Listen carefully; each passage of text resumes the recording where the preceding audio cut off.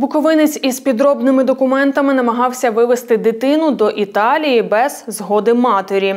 26-річний водій мікроавтобуса Мерседес, супроводжуючи 14-літнього хлопця, проходив контроль у пункті пропуску Порубне. Подорожуючи, пред'явили нотаріально засвідчену згоду матері та батька на виїзд неповнолітньої дитини за кордон. Однак, детально дослідивши заяву матері, яка засвідчена консульською установою України в Італії, охоронці кордону виявили ознаки підробки.